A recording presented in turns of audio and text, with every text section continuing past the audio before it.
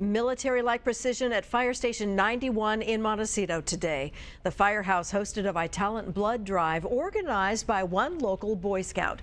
Salvador Hernandez Perez is working towards the highest rank of Eagle Scout. He says inspiration for the project comes from his mother, who is living with cancer, and folks who've donated platelets for her chemo treatments. And it is just one way that I'm able to give back to the community, um, something that the community was out to help out um, when somebody else needed it, and now we're able to do it again. Santa Barbara County is experiencing a shortage in the local blood supply, fewer donors during Omicron, and an uptick in accidents upped the need for more blood. This is the second of five blood drives Salvador has organized. You'll find location information on our mobile app and our website.